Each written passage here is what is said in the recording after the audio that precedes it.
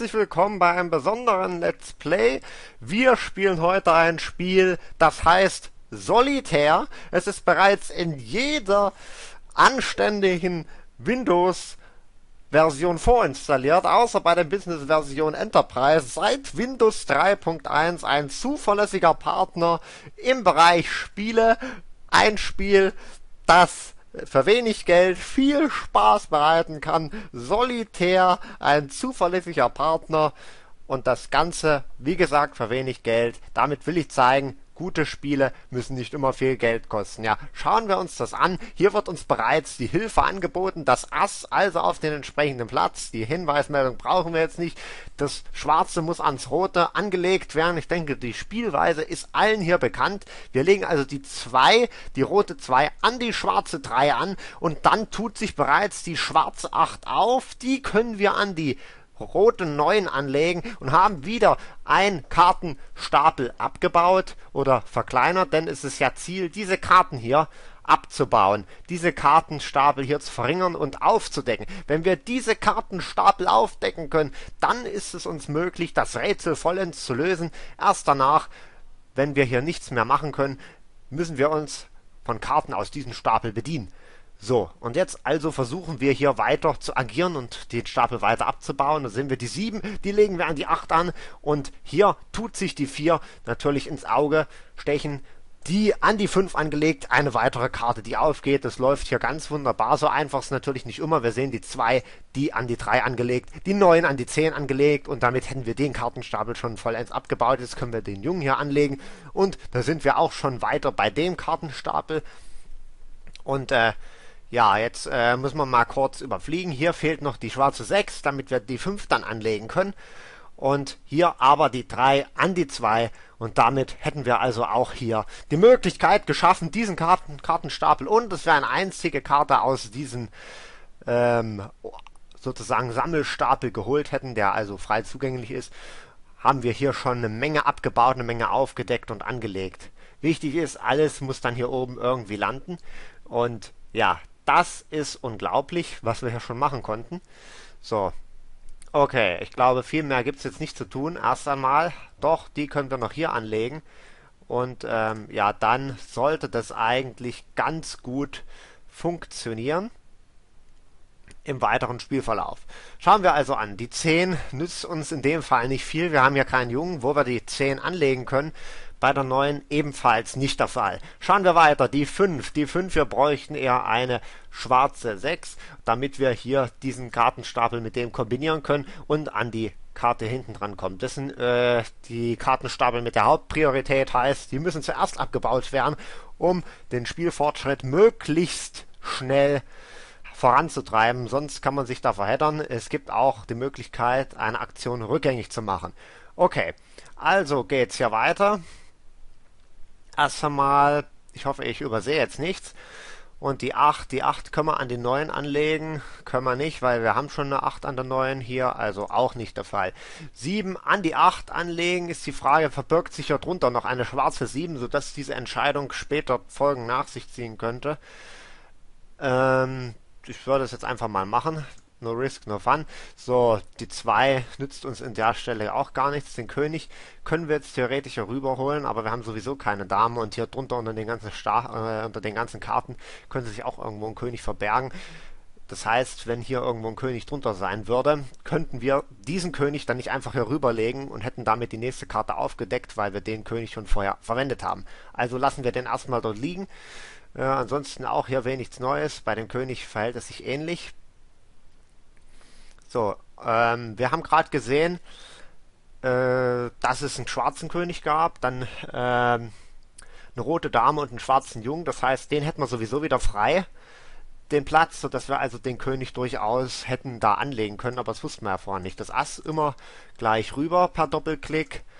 So, und jetzt schauen wir mal hier die 5. Die 5 nützt uns in dem Fall nichts. Die 3 an die 4 auch nicht der Fall. Die 2 kommen wir jetzt natürlich hier auf das Ass. Die 3 ebenfalls hier rüber auf das Ass stapeln. Also alle mit Herz werden vom Ass 2, 3 hochgestapelt und so weiter. Dann brauchen wir die Herz 4. Die ist allerdings nicht vorhanden zurzeit.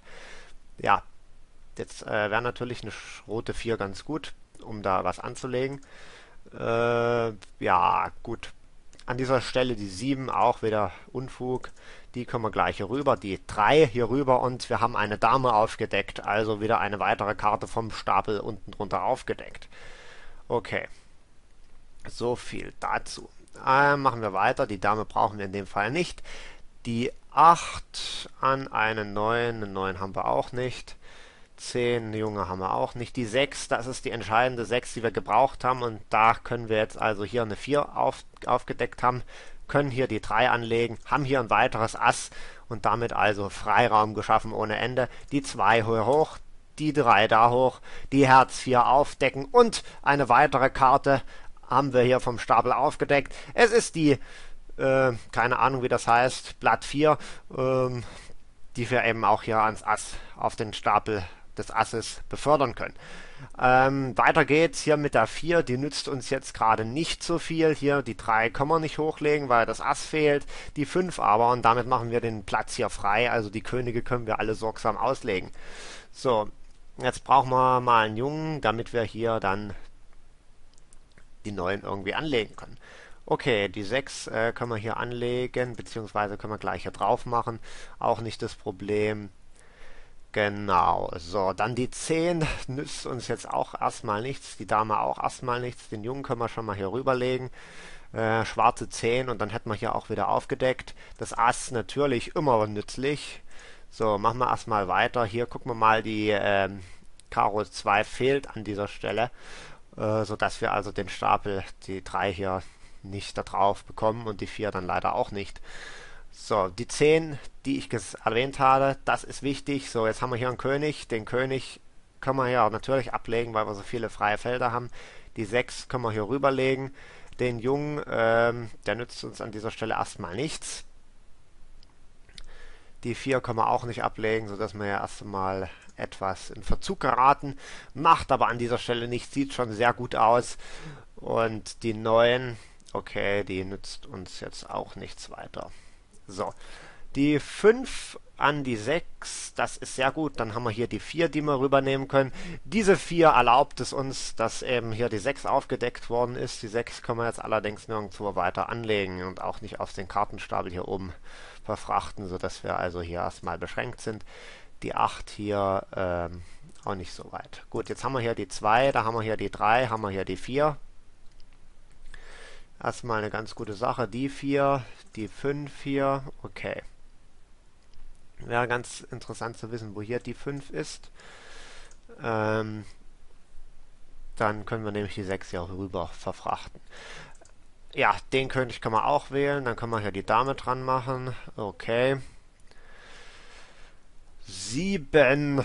Ja, dann haben wir hier die Dame. Das nützt uns allerdings auch noch. Doch, den Jungen können wir hier dran machen. Ist ein bisschen schöner geordnet. Aber okay, jetzt bräuchte man noch äh, am besten eine Dame in ja, nützt auch nichts. Irgendwo muss ja natürlich noch ein König drunter sein, ne? Oder in dem Stapel drin sein. Okay, die 5 hier, damit können wir die 6 aufdecken. Der Junge hier, an dieser Stelle auch nicht sonderlich nützlich. Die 7 nützt gerade auch wenig, oder können wir die hier rüber? Doch, die kommen hier rüber. Die allerdings noch nicht, weil hier die 6 fehlt. Die liegt hier drunter. Können wir aber auch machen, indem wir das so... Okay, einfach rechtsklicken und dann schiebt das alles rüber. Okay, gut.